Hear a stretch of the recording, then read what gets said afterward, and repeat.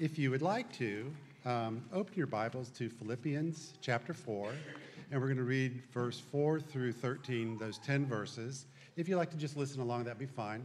In the Bible in front of you on the pew, it's on page 1351 if you're interested. Of the 31,000 verses our good Lord has given us, these 10 are probably some of my favorite. Rejoice in the Lord always. I will say it again rejoice. Let your gentleness be evident to all. The Lord is near. Do not be anxious about anything, but in everything, by prayer and petition, with thanksgiving, present your requests to God. And the peace of God, which transcends all understanding, will guard your heart and your minds in Christ Jesus. Finally, brothers, whatever is true, whatever is noble, whatever is right, whatever is pure, whatever is lovely, whatever is admirable, if anything is excellent or praiseworthy, think about such things. Whatever you have learned or received or heard from me or seen in me, put it into practice, and the God of peace will be with you. I rejoice greatly in the Lord that you have renewed your concern for me. Indeed, you have been concerned, but you had no opportunity to show it. I'm not saying this because I am in need. I have learned to be content, whatever the circumstances. I know what it is to be in need, and I know what it is to have plenty. I have learned the secret of being content in any and every situation, whether well fed or hungry, whether living in plenty or in want. I can do everything through him who gives me strength.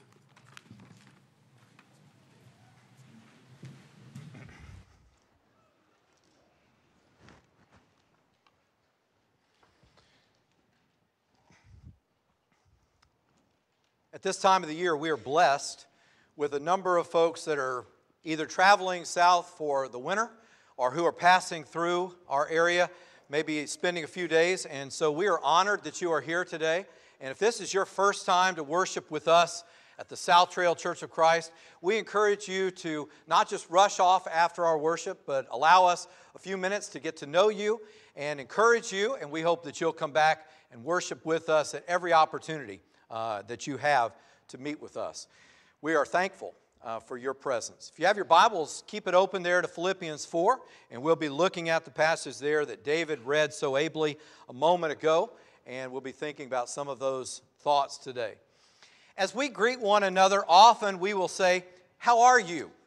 And sometimes we'll say, Well, how are you today? Because we realize that feelings change and our situations may change with our circumstances on a daily basis. Oftentimes, when we say, How are you? we might even think, Compared to what? Compared to yesterday or compared to 50 years ago? How are you? Paul says here in Philippians 4, Rejoice in the Lord.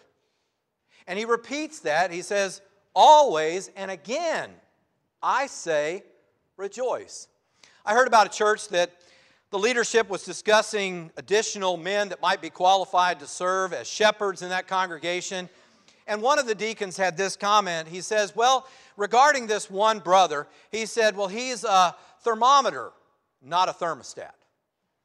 And the others kind of looked at him and he said, Well, a thermometer registers the temperature. It doesn't change anything, it, it registers what's going on around it. And so, if the situations are changing, when things get hot, it registers that. And when things cool off, it registers that. But a thermostat changes things. A thermostat regulates the environment around it and keeps things where they need to be what Paul says here in Philippians 4 and verse 4 rejoice in the Lord always. And again, I say rejoice. There's a thermostat. It's something that helps us in how we look at life. What Paul would say in a number of passages is to walk, like he does in Ephesians 5 and verse 2, to walk in love as dear children, just as Christ, who loved you and gave himself, sacrificed himself for you walk in love. In Colossians 1:10 he would say to walk worthy of the Lord. In Ephesians 4 verse 1 to walk worthy of the calling, the vocation in which you were called in the Lord. If we understand what it means to be in the Lord, then that helps to regulate all the other things that happen in our lives, to help us with the circumstances which invariably are going to change. Have you noticed something? Life doesn't stay the same. Life is not static. Life is continuing and moving and evolving, and yes, that includes aging. Some of you say, you could have gone all day without mentioning that. Yes, life changes. What we see here is that Christians are to rejoice in the Lord. Jesus gave a number of instructions and he talked about happiness. Sometimes people will ask me, they'll say, Well, doesn't God want me to be happy? Well, that depends. Depends on what your definition of happiness. Happiness is an emotion that ranges from a state of contentment to a state of intense bliss. And yes, I think God wants you to experience all of those things. There are times that we experience things that don't necessarily bring us intense joy, but it's still good for us. It helps us to see what life really means. And that's what he means by in the Lord. Understanding that God sent Jesus to bless you with a sphere of blessings. What Paul would say in Ephesians 1 and verse 3 Blessed be the God and Father of our Lord Jesus Christ, who has blessed us with every spiritual blessing in heavenly places in Christ Jesus. There's the sphere. I can rejoice in the Lord because what God has given me spiritually in Christ is better than anything else.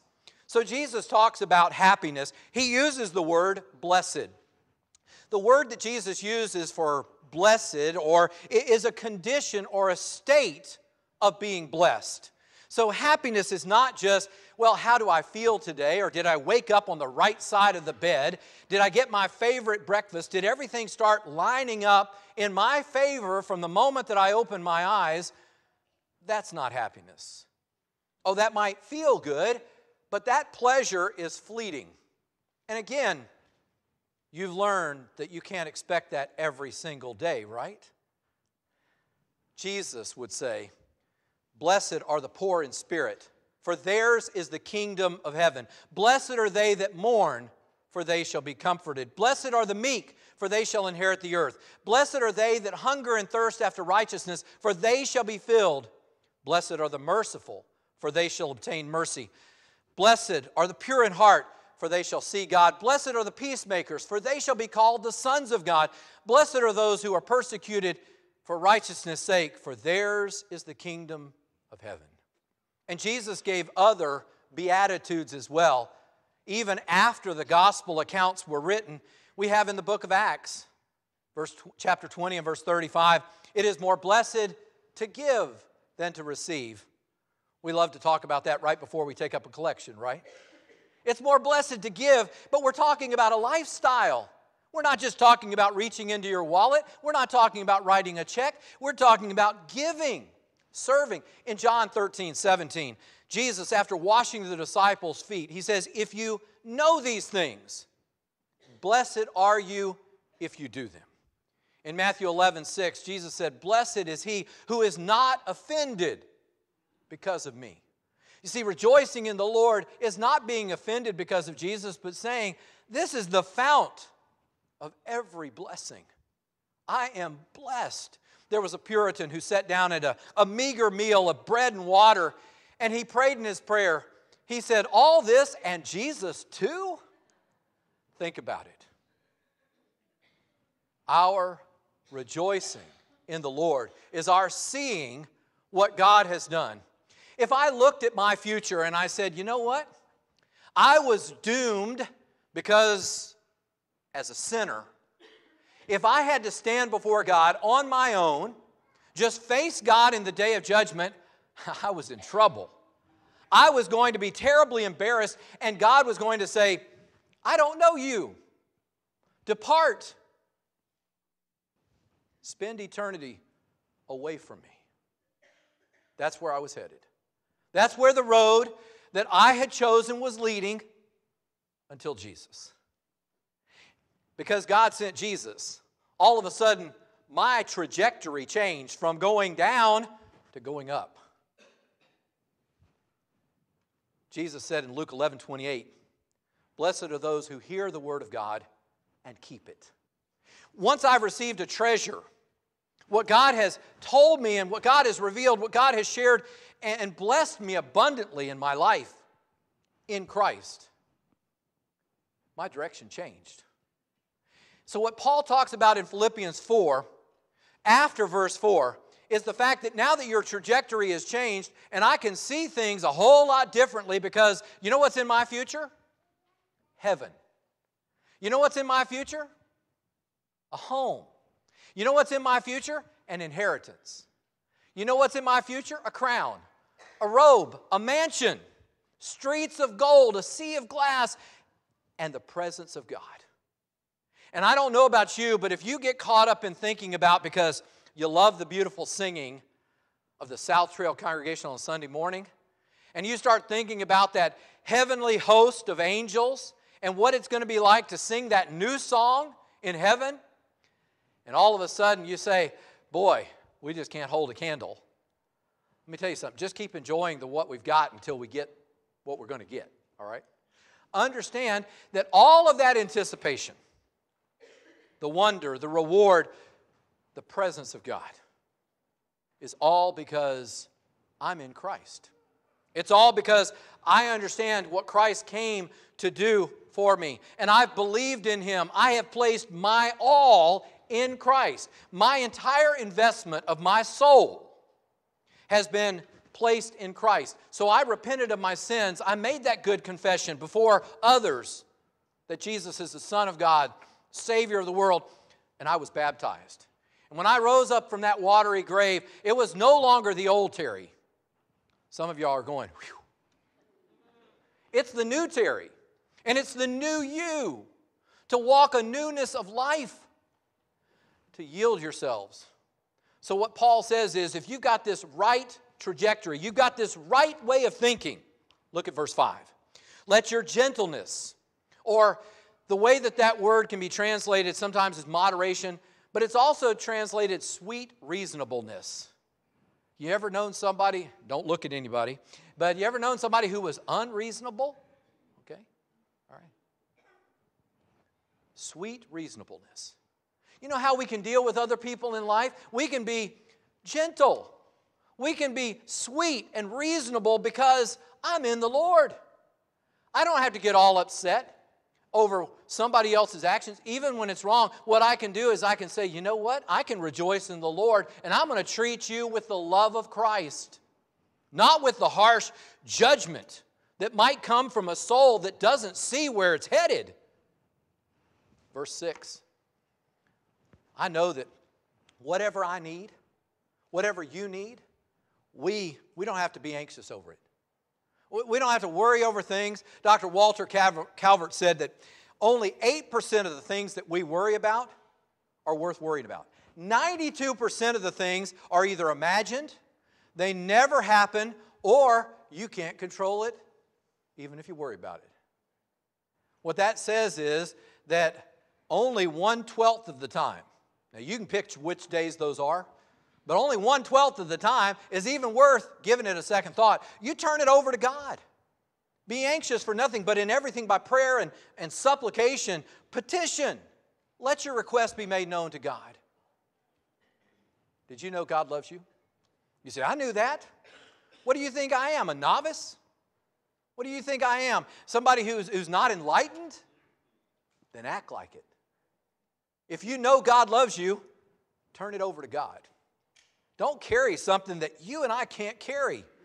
I can guarantee you, I was talking to, to one of my family the other day and, and how much they could, they could lift and everything. I guarantee you, if what my boys, sons, sons in law, stepsons, what they can lift, I can't lift. Every one of them could put a weight on me that I would be trapped. And life will do that to you if you don't turn it over to God. Look at verse 7.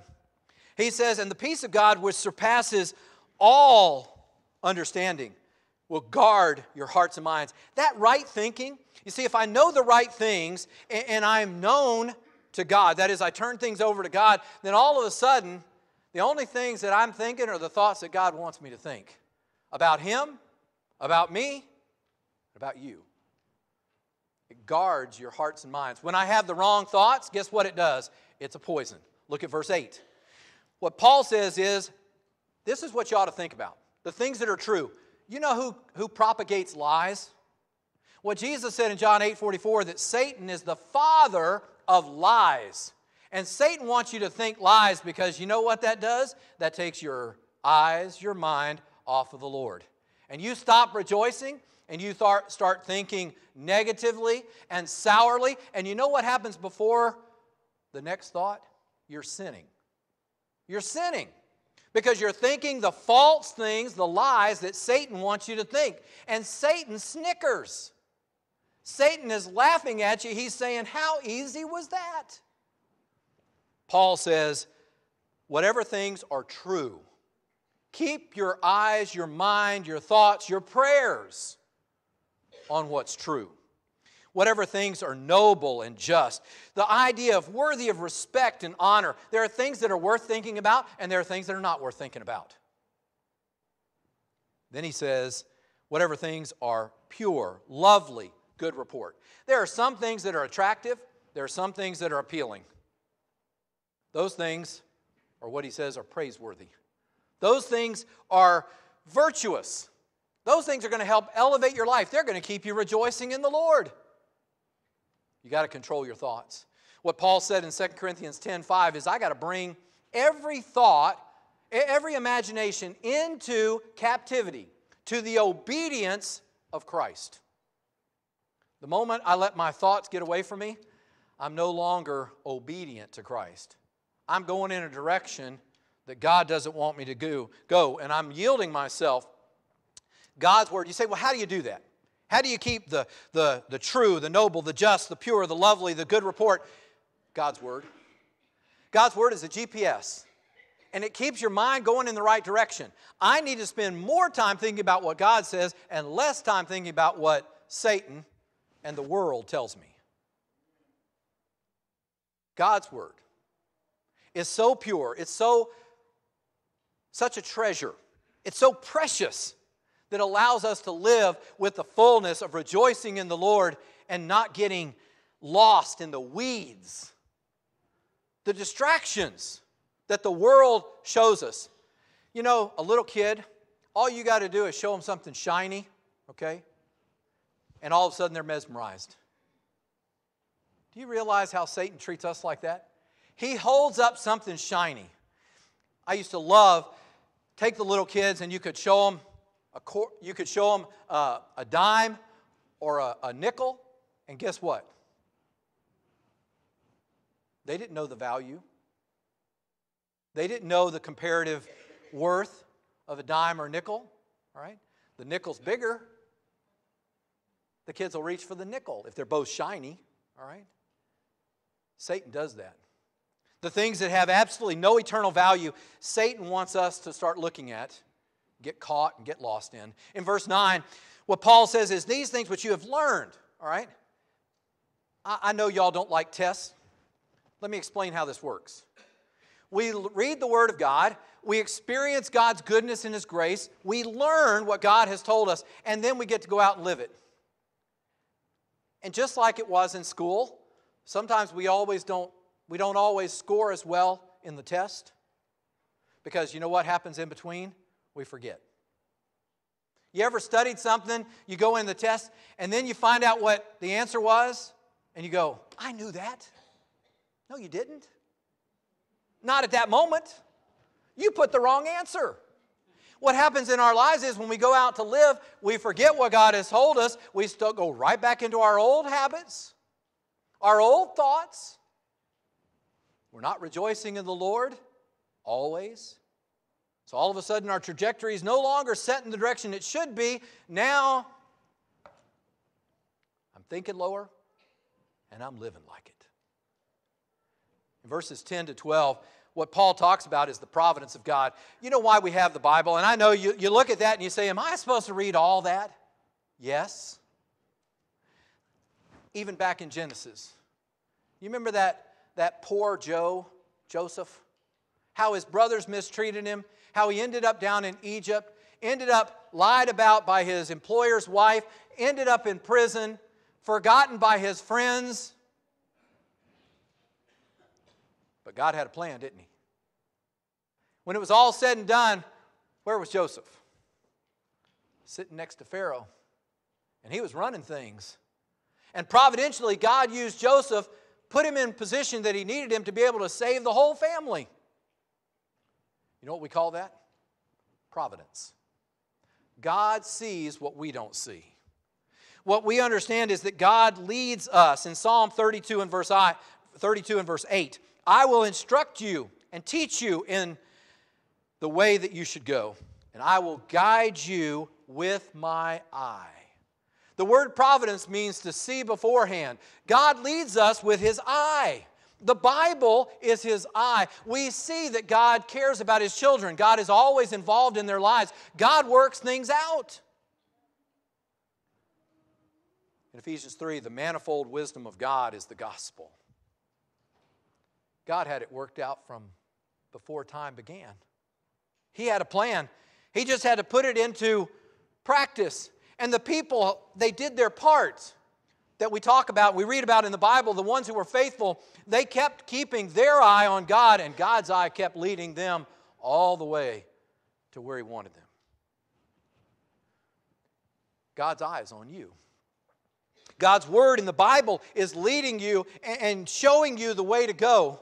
And you can rejoice in the Lord if you're going with the Lord, if you're walking with Him. And so what Paul says there in Philippians 4:13, I can do all things through Christ. When I'm rejoicing in the Lord, when I'm showing sweet reasonableness, gentleness to others, when I'm praying, when I'm letting the peace of God guard my heart and my mind from thinking things that are going to be divisive and, and, and create contention, divide people, and when I let my mind center on the things that are true and just and noble, pure and lovely and of good report, when I'm letting God's providence lead me and I'm not trying to take the reins and take over from God, but I'm letting Him work in my life, I can do all things. It's all in having the right resources. So many times, rivers are formed by snow capped mountains. Lakes are often supported by underground springs. And you know where trees get their food, don't you? The roots. The roots are underground. We don't see the roots. Where are your roots? say, why? I don't know that I have roots. I've got feet. I can move about. Where are you grounded? Where do you draw the source for your life? Are you getting it from God? Are you getting it from the Word of God? You see, if that's your resource, that's unending. God doesn't run out. It's not a scarcity. You know, we talk about supply and demand. Let me tell you something. You have a, a demand, a need for God, and God supplies all and more than you and I can ever absorb, that you and I can ever fully draw or drink into our lives. But we need to have that hunger and thirst for righteousness. We need to be able to keep our thought on what God wants. We need to rejoice in the Lord always. Always. And again, I say rejoice. When you think about what he's doing in Philippians, take your Bible there and go back with me a couple of different passages. In chapter 1 and verse 6, be reminded, Paul says, being confident of this very thing, that he who has begun a good work in you will complete it until the day of Jesus Christ. Don't think God's finished yet. Look chapter 2 after we talk about that verse that you know, work out your own salvation with fear and trembling, verse 13, for it is God who works in you both to will and to do of his good pleasure. Remember when we said, How are you? Are you happy? If you're living in God's pleasure, you've got reason to be rejoicing. Chapter 3 and verse 10 that I may know him and the power of his resurrection and the fellowship of his sufferings, being conformed to his death. If I let go of myself and I say, God, it's all you. From now on, it's all you. You're going to rejoice. The things that would bring you down, the things that, that might want to turn you into a thermometer instead of a thermostat. No, your setting is in the Lord. And that's going to keep you. And you can help change others around you because you're living in the Lord. Peter Cropper was a great violinist. The Royal Academy of Music in London awarded him with a lifetime achievement and they allowed him a privilege that was afforded to very few. They allowed Peter Cropper to play a Stradivarius violin that was 258 years old. And he played a concert in Finland. Peter Cropper was not a young man. He tripped, he fell on top of that priceless Stradivarius. Okay? Some of you are cringing.